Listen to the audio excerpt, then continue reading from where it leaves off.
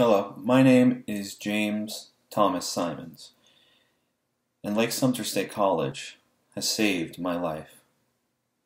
So, to begin, I am a veteran of the U.S. Army and was honorably discharged on November 16th, 2017. I left my duty station of Fort Collins, Colorado, heading back to my home here in Florida. Scared, nervous, and with no idea what my future would be. When I first got back home, I really had no idea what to do.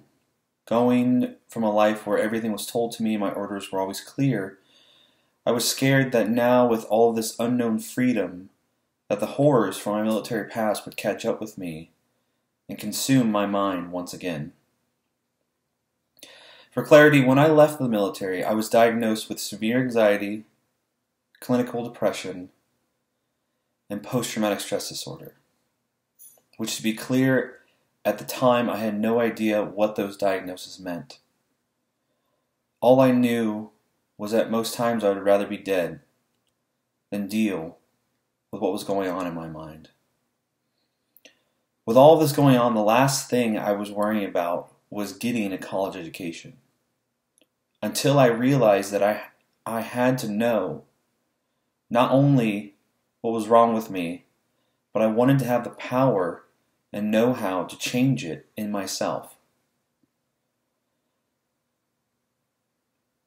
Now, to be honest, Lake Sumter State College was not the first university that I toured, and the admissions advisors were not the first ones I spoke to.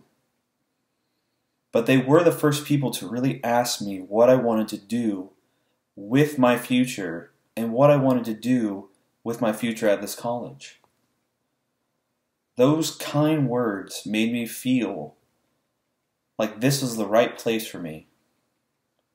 And ever since my first day here, it has been a life changing experience.